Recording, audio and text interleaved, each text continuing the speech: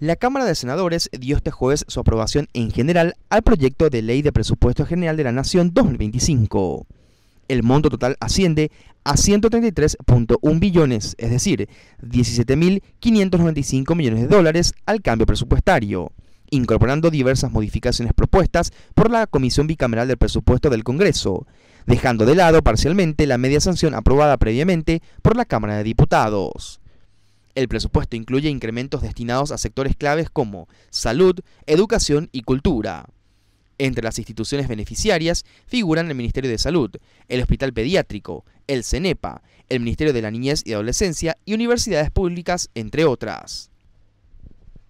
Por su parte, el proyecto original presentado por el Ejecutivo preveía un presupuesto de 132.8 billones de dólares, representando un aumento del 14% respecto al presupuesto aprobado en el 2024.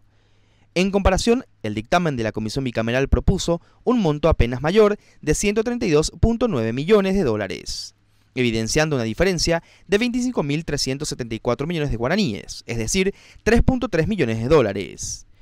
Tras la aprobación en general, el Senado comenzó el análisis detallado del presupuesto de cada institución pública, etapa crucial para definir ajustes o incluir nuevas modificaciones. Sin embargo, los legisladores decidieron postergar la discusión sobre el presupuesto del Poder Legislativo hasta el final de este debate.